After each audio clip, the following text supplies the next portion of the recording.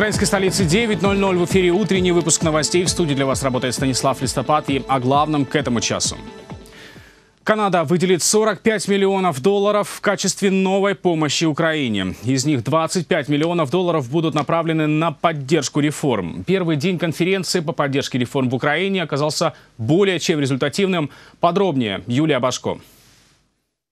Ряд важных договоренностей принес первый день в Торонто. Конференцию по поддержке реформ в Украине открыл Министерский день.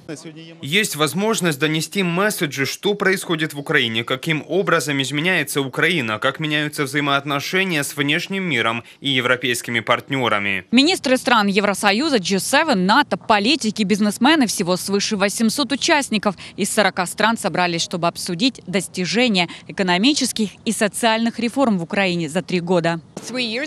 Три года назад в Лондоне мы только говорили о медреформе, а сегодня уже 28 миллионов украинцев подписали декларации о предоставлении первичной медицинской помощи. Мы создали государственную систему предоставления медпомощи, и это первый шаг к государственной страховой медицине. Впервые украинскую делегацию на конференции возглавил президент Владимир Зеленский, прилетел в Торонто накануне. В рамках конференции он провел ряд встреч с канадскими партнерами. Стороны договорились о продлении канадской военной тренировочной миссии «Юнифайр» до 2022 года, а также о поставке оружия и бронетехники. Мы продвигаемся вперед в дискуссиях по вопросу вооруженной поддержки Украины. Кроме военной миссии, в которой участвует Канада, мы также добавили Украину в список для покупок канадского оружия. И это позитивное решение. Мы можем об этом открыто говорить. Мы договорились о поставках бронетехники. Мы договорились, что будем развивать договоренности. У нас появится соглашение. Власти Канады приняли решение относительно жителей оккупированных территорий Донбасса. Им будет запрещен въезд в Канаду по российским паспортам. Мы осуждаем решение России выдавать российские паспорта украинским гражданам на Донбассе. Эти паспорта с сегодняшнего дня не могут быть использованы для поездок в Канаду. Мы призываем наших партнеров последовать этому примеру. В ходе встреч стала известна также страна, которая примет конференцию по поддержке реформ в Украине в следующем 2020 году. Это будет Литва. Конференция пройдет в четвертый раз в Вильнюсе, и я горд и счастлив объявить это. Я верю в то, что мы сможем продолжить движение вперед. Главное понять, что это не только техническое и экономическое сотрудничество. Речь также идет о ценностях. Следующие два дня конференции пройдут в интерактивном формате на платформе Украинского дома. Участники смогут узнать о деловых и инвестиционных возможностях в Украине, а также познакомиться с продуктами украинских креативных индустрий. К примеру, семь украинских дизайнеров привезли в Канаду уникальные коллекции. Из Торонто Юлия Башко, Владислав Гапон, ЮАТВ. Один украинский военнослужащий травмирован за минувшие сутки на Донбассе. Российские оккупационные войска 13 раз открывали огонь, 8 раз использовали запрещенное Минскими соглашениями оружие. По данным штаба операции Объединенных сил, из минометов боевики били по украинским укреплениям в районе Маринки, Новолуганского и Болотного. На других рубежах использовали гранатометы и крупнокалиберные пулеметы. По данным украинской разведки, 2 июля один оккупант был уничтожен, двое ранены. С полуночи на Донбассе сохраняется режим тишины. Как под водой оказать первую помощь человеку без сознания и как эвакуировать его оттуда, показали грузинские и британские водолазы. В Одесском порту стартовали международные учения «Сибриз-2019». Маневры проходят в условиях максимально приближенных к реальным. Больше о работе пловцов Королевского флота и подводном разминировании знают корреспонденты ЮЭТВ.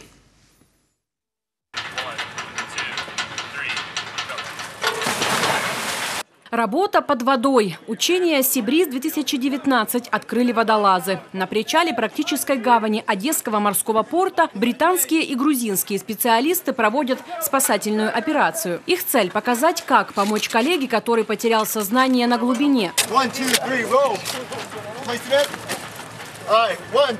roll. Условия на учениях максимально приближенные к реальным. Времени в обрез и действовать нужно четко. За работой иностранных водолазов внимательно следят украинские военные ныряльщики. Работаем над собой для Работаем над собой для достижения слаженных действий с международной водолазной группой в соответствии со стандартами НАТО и других развитых стран мира. Согласно сценарию учений, главная задача быть готовым отреагировать на все ситуации. В учениях приняли участие 125 водолазов из Украины, США, Великобритании, Грузии, Латвии и Румынии. Этот компонент включили в обязательную программу учений «Сибриз» в 2005-м. А после аннексии Крымского полуострова специалисты-подводники на вес золота. После аннексии Автономной Республики Крым После аннексии Автономной Республики Крым у нас почти не осталось подготовленных дайверов, не осталось оборудования. И военно-морские силы с 2014 года начали все строить буквально с нуля. Благодаря этим учениям мы отточили водолазный компонент. И сегодня есть много специалистов, обученных для работы под водой и разминирования. Показали в работе и специальную технику, акустические сонары и роботов. С их помощью находят взрывоопасные предметы под водой и поднимают их на поверхность. Также обследуют затонувшие объекты. Этот робот используется только для наземных операций, для осмотров. В своих щупах он держит взрывчатку на всякий случай. Это для нашей безопасности. Мы можем обезвредить потенциально опасный объект, не приближаясь к нему. Часть этого оборудования передадут морякам, как только те научатся с ним работать. Следующий этап учений – морской компонент – пройдет 5 июля в Одесском порту. Военные проведут артиллерийские стрельбы, высадки осмотровых групп и отработают взаимодействие спецподразделений. Анна Городенцева, Наталья Довбыш, Одесса, UATV. Крымские татары в Турции осудили позицию Турецкой республики о возвращении России в ПАСЕ. В Эскишехере провели пресс-конференцию на тему «Готова ли Турция пожертвовать Крымом во имя покупки ракет С-400?». Именно это стало причиной голосования турецких депутатов за возвращение России в парламентскую ассамблею, считают представители крымско-татарской диаспоры в Турции. Также активисты призвали турецкие власти, вопреки экономическим выгодам, подумать о исторической и культурной связи с крымскими татарами и взять на себя ответственность за судьбы братьев и сестер, проживающих в Крыму. Maalesef birçok kişinin К сожалению, многие не понимают последствия этого решения. Это ни с кем не обсуждали, об этом нигде не говорили. И сейчас мы хотим это донести всем и депутатам, которые принимали это решение. Например, в 2020 году, в апреле, может быть так, что вернувшаяся Россия будет поддерживать Армению в вопросах ее конфликта с Азербайджаном и Турцией. В ночь на 25 июня парламентская ассамблея Совета Европы приняла резолюцию, которая обеспечивает возвращение России в организацию без выполнения международных обязательств. Ее поддержали 118 евродепутатов, в том числе и депутаты Турции.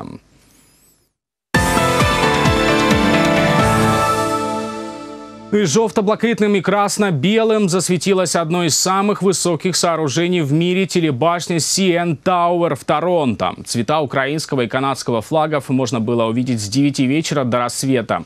Иллюминацию включили по случаю конференции в поддержку реформ Украины, которая проходит в эти дни в Торонто. Многие прохожие специально останавливались, чтобы сделать селфи и снять на видео CN Tower. Телебашня – символ Торонто, а также одно из самых высоких сооружений в мире. Ее высота составляет более 500 метров.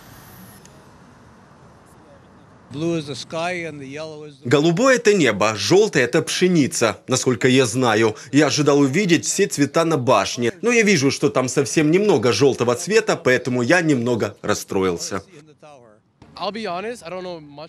Если честно, я мало знаю об Украине, но я как-то был на одном событии в парке, где я слышал украинские песни. Это было просто великолепно. Я не понимал ни слова, но песни были такие позитивные. К этому часу пока что все. Это и другая актуальная информация есть на наших страницах в соцсетях, а также на сайте телеканала uatv.ua. Следующий выпуск на русском языке менее чем через два часа. Оставайтесь с нами, будьте в курсе и знайте больше. До встречи.